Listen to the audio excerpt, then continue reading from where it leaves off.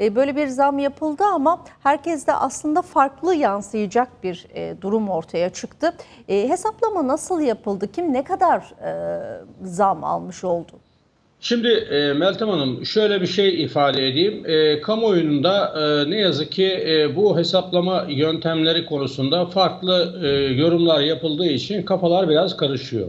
Esasında bunun hesaplama yöntemi tektir. Birincisi e, biliyorsunuz e, emeklilerimizde özellikle işçi ve bağkur emeklilerimizde taban aylık uygulaması söz konusu. Hı hı. Taban, taban aylık dediğimiz nedir? E, hükümetin Sosyal Güvenlik Kurumu'nun emekliye bağlamış olduğu aylığı belli bir oran üzerine çıkarmasıdır.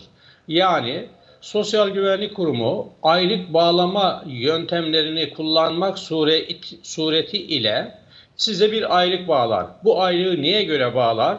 Sizin çalışmış olduğunuz yıllar ve bu yıllar içerisinde de ödenmiş olan prime esas kazanç yani işveren tarafından ya da bağ kurluysanız bağ kur primlerini ne kadar yüksek ya da düşük ödemişseniz ki burada da tabii oranlar söz konusu o nispette aylık bağlama oranı diye tabir ettiğimiz ve sosyal güvenlik sistemi içerisinde 3 dönemi ayrı ayrı hesaplayan aylık bağlama oranı modülü kullanılmak suretiyle SGK'nın size bağlayacağı aylığı buluruz. 2000 öncesi ayrı hesaplanır.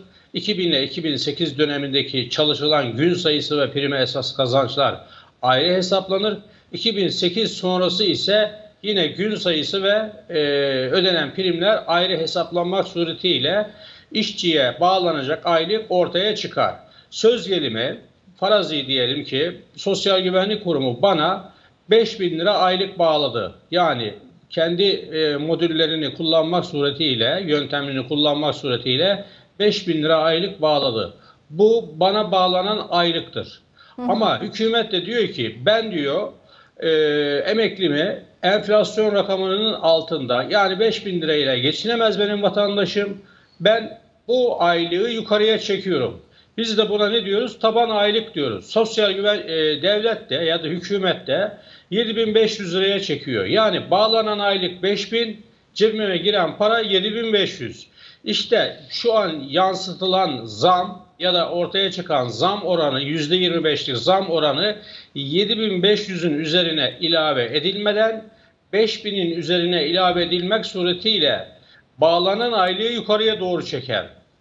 Ne zaman ki sizin bağlanan aylığınız e, taban aylığın üzerine çıkarsa o zaman yansıyan ya da verilen zamdan olumlu yönde etkilenirsiniz. Aksi takdirde şu an taban aylığı 7500'ün altında bağlanmış olan vatandaşlarımıza bir de şöyle bir ifade kullanılıyor. Kök ücret deniliyor. Bu kök ücret falan değildir. Kök ücret başka bir şeydir. Bu ifadeler de son derece yanlıştır ve kafa karıştırır. Bağlanan aylıktır. Kök ücret diye bir şey söz konusu değildir. E, dolayısıyla 7500'ün altında maaş alan ya da şöyle ifade edeyim 6000 liranın altında bağlanan aylıklara yapılan zam şu an 7500'ün üzerine geçmeyeceği için bir anlam ifade etmeyecek. Ne zaman ki e, 7500'ün üzerine geçer o zaman bir anlam ifade etmiş olacak.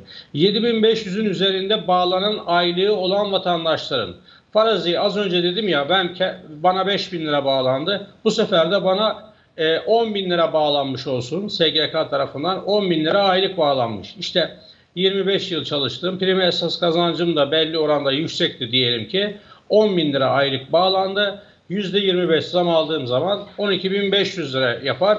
Dolayısıyla bana, bana 2500 lira bir fark söz konusu olacak. O bakımdan e, vatandaşlarımızın maaş hesaplamalarını yaparken ya da beklentilerini oluştururken bunlara dikkat etmeleri gerekiyor.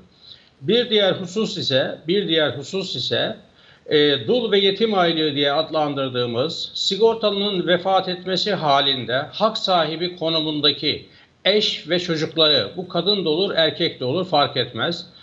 E, eş ve çocuklarına ise 7500 ee, lira üzerinden bir oran değil, almış oldukları ya da bağlanmış olan yetim aylığı ya da dul aylığı üzerinden %25 zam yapılır. O bakımdan her e, dul ve yetim de şunu e, beklememeli. 7500 e, üzerine %25 zam alacağım diye bir beklenti içerisinde olmamalı. E, buraya da dikkat edersek vatandaşlarımız 2023 yılının sonuna kadar bu aylıkları alacaklar.